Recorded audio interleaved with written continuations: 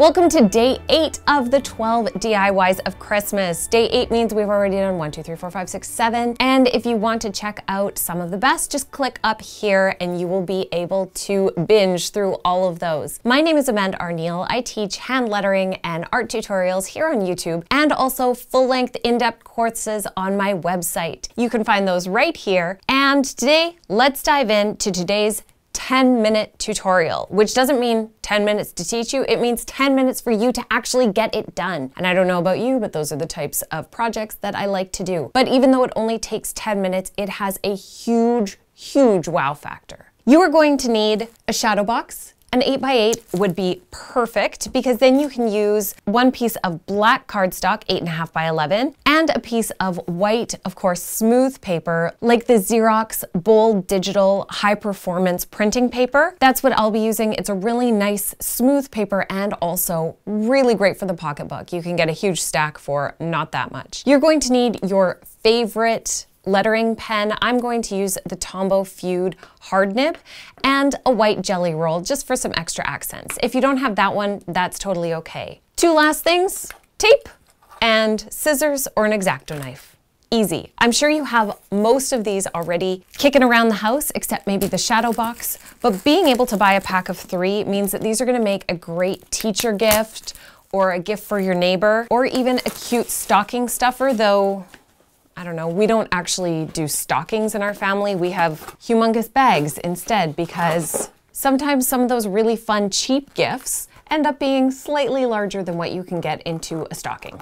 So let's jump in. One shadow box, you're going to want to open it up and take the back out of the shadow box. They have a few different pieces. There's the backing piece. This is what you're going to stick your white paper to eventually. There's an insert piece, and this is what separates your glass from your backing. And then you have the glass. And this is just one from Michaels. It's really nice that this is glass instead of plastic. So if you're really into getting actual glass inside your frames, this Michaels 3-pack is hands down the way to go. Now we are going to need to use the backing in order to make sure that we are cutting our pieces of paper to the right size. So for your first piece, your black, you're just going to lay your backing so that it's lined up with two of the sides of your black paper, trace the other two either with a pencil or with a white pen if you have it, and then cut that out.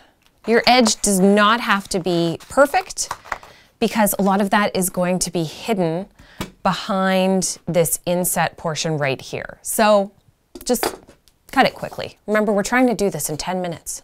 All right, that was our first step. Now we're going to cut a star out of this. And you might think, oh, I'm not very good at drawing stars, but everyone knows how to draw a simple five-pointed star, and that's all we're going to do. About an inch and a half in from each side, do a dot with your white pen, following how you would draw a five-pointed star. You wanna just make sure you don't get too close to the edge and that will give you a guideline. Now you're going to connect those points and you don't have to draw a full line, just connect them very lightly because this is going to give you a guideline for where to cut. And finally, I'm sure you know the next step, is to cut it. Cut your triangle out and it doesn't have to be perfect because we're not even going to keep it oriented like this. We're going to turn it so that it looks like it's a little bit sideways because our lettering is also going to be a little bit sideways and all together it looks Perfect. To get into your shape, give it a slice in the middle and then go in and cut out each of the legs of your star. And again,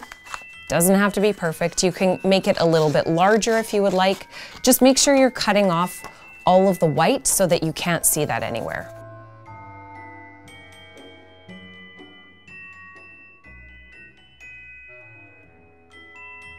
Once you have your star cut out, it's time to trace this onto your white paper. Line it up in the same way you did with the black.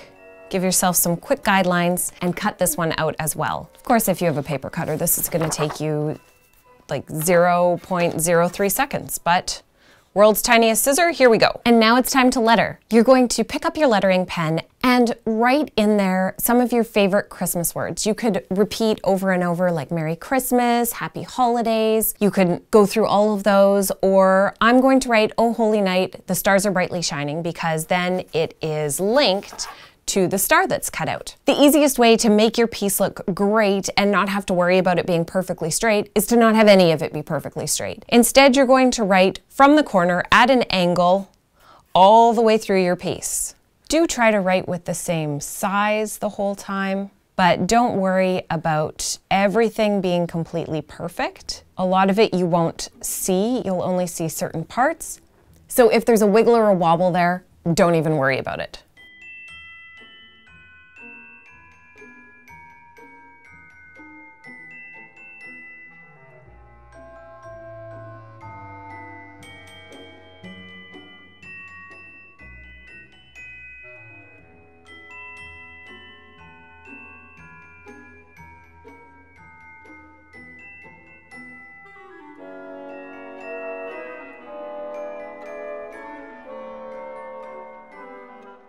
So now you have your lettering all done. You are going to, we're getting real fancy here, tape that to the back piece here, or you can always use glue dots to affix it right onto that chipboard. I'm using tape and because we have this little inset bit anyways that's going to go right around the edge, if you just put a little bit of tape on the edge, you won't even see it put that in a few places just to hold your piece inside your frame. And now we have one final step to do on the star. So decide which side of your star you would like to use. And even you can decide the orientation as well right away. So flip it over, turn it around, see which way you think will look best. And then you can take your white Gelly Roll marker and just go around with a stitching sort of line to give it a little bit of detail. Start up in one of your corners, go around that corner, follow all the way down into this point and even make a tiny L inside the point if at all possible. That helps to really make these stitches look like you're stitching together one big piece to be part of a whole. So consider making those little curved lines look like they're actually going around a corner. Do this all the way around your star, trying to keep your distance between the stitching line and the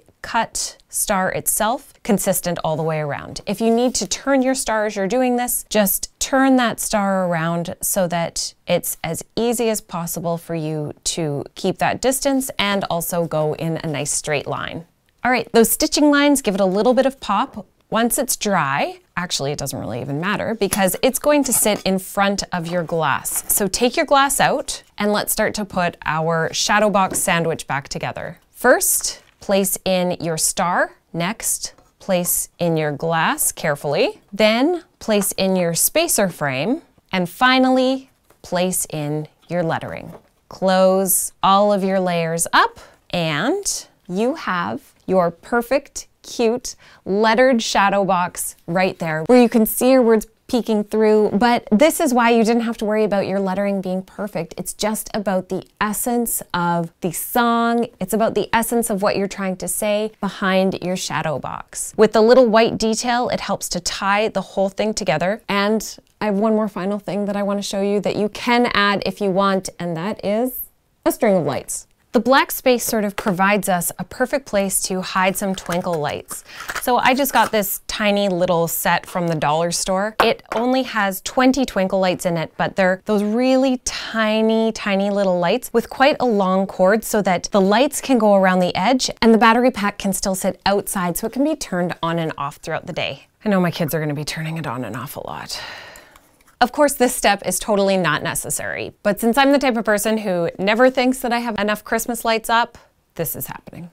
You can take your Christmas lights and with the tape, you're just gonna tape them around to this inner frame so that they add a little bit of glow to your beautiful writing. If you get the type that are on a wire, you'll be able to bend it so that it follows along the frame and just toss a little piece of tape in there to stick it to the frame.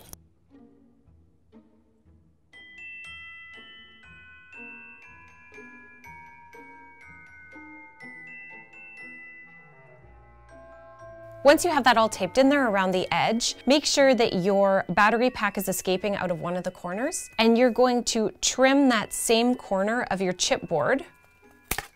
That was actually easier than I thought. And then place your design in there. That way you can have that wire escaping without any of the wire getting pinched off. And we don't want any sort of electrical or fire hazards happening here. Close up the back and voila.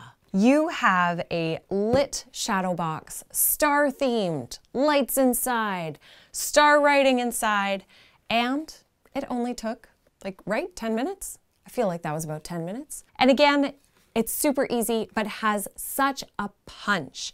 Think of this as a great gift item for, again, a neighbor, a teacher, a friend, a mom or dad, well, mostly probably a mom. I don't know how much my dad would love this. Maybe if it was like a car cutout. But think about how you can incorporate this into your gift giving this season because not only is it quick and easy, it's handmade and handmade with love. And what is a better gift than something that you have made with your own hands? It means so much more. And also, if you bought the three pack, you've got some more to make. So so definitely think of who you can gift these to. That was day eight of our 12 DIYs of Christmas.